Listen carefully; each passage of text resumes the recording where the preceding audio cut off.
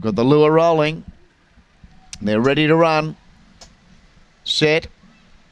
Away, Rough State began well out wide. He musters good speed to get over and lead here from Blown Away and Black RJ. Then Scorching Alan Jersey. Last couple Blown Away, I should say, uh, Zipping Jeff and Colombian Flame. Up the back, Rough State led, but shooting up on the inside. Blown Away's gone through to join him. Or Rough State, he stumbled there, not sure what happened. Collided with Scorching. Left in front, Blown Away. Alan Jersey comes at him with Zipping Jeff. Zipping Jeff takes the lead. Zipping Jeff beats Alan Jersey.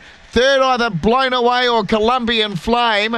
And behind those runners then we had Black RJ with Scorching and Rough State. I'm not quite sure what happened to him at about the 200 metre mark. So Zipping Jeff, the winner here at big odds. 6243 official. 6243 in 30 and 15. Winner here, number six, Zipping Jeff by Smooth Fancy out of Natalie Rass. Kath Johnston, the owner trainer, at big odds. Beating two Allen Jersey by Taranza Bale out of Acme Typhoon for Tim Richards. And four third blown away by Barcia Bale out of Up and Away for Lisa.